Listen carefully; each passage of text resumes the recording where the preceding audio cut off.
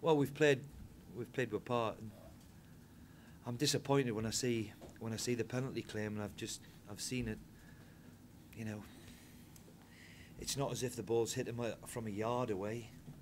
He's actually reacted from ten yards away when Alex has headed it. And the natural reaction is to put your arms by your side. The boys practically caught it, signed it, and kicked it into the crowd. To be perfectly honest.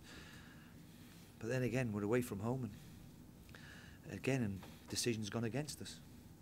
Do you have any uh, complaints with the Swansea goal as well? Well, I know he's punched it in, but I can I can forgive that one because I don't think any of us seen it at the time, so we can all forgive that. But if you look at the reaction of all our players for the penalty claim, every single one of them's gone up in the box, which gives you an idea. But obviously, decisions.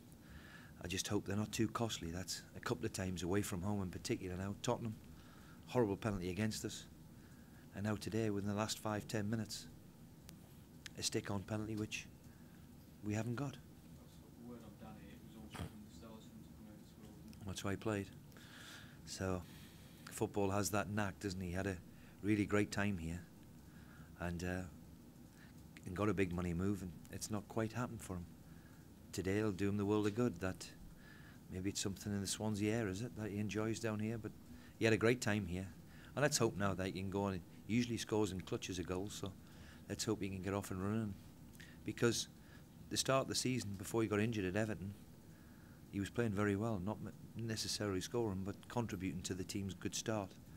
He took a nasty knock at Everton, and that seemed to set him back a, a while. And Danny's one of them where he needs to play and work. You need to work him and hit him with a stick every week. So uh, the goal will do him the world of good and confidence-wise. Steve, showed a lot of faith in him, Steve. Sorry. So you've showed a lot of faith in him. Well, he's a good, he's a he's a he's a good player, and every top player goes through it. If you're a striker, you don't want to go as long as Danny, but you know, I think also what went against him was when he got his move to Sunderland. I don't think he was a regular here in the team, so I think he'd, uh, you know, he'd, it takes him a while to get up to speed, if you like. It's like a lot of big players, you know, when you're big and heavy set, the more you play, the better you become because it becomes a bit easier. So in, in that respect, it was probably the worst time for him to get his move, and it didn't quite happen for him in the northeast. But I know how that feels and all. Yeah, have you, yeah, have you got to the season? There's no danger of him them being able to recall him in Well, January. th- th- that's their prerogative, Sunderland's prerogative. We hope he's here with the season for us, but um, of course, you know he's on loan. So, you know, if the parent club call him back, then so be it. Let's hope so. Let's hope not. Is any point away from home got some serious Woodward? Steve? Yeah, I mean we've we know how difficult it is away from home in the Premier League, and I think now with that's what eighth game, and they've all been in the top ten. So I think there's only Man U we haven't played in the top ten. So it's got to be a good point, yeah.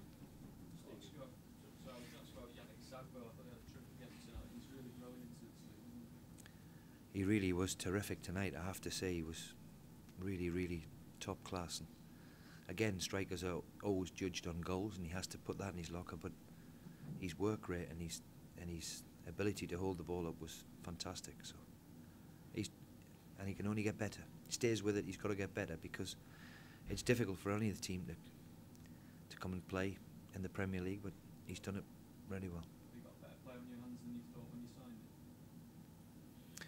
Well, you have to admit that you, you're always taking a bit of a gamble when you when you're signing somebody from France, because can they adapt quickly? Can they settle down? And it's a different game. I was there last week again, and you know, it's it's a very different game. Put it that way. But he's adapting and, and getting better. So let's hope that continues.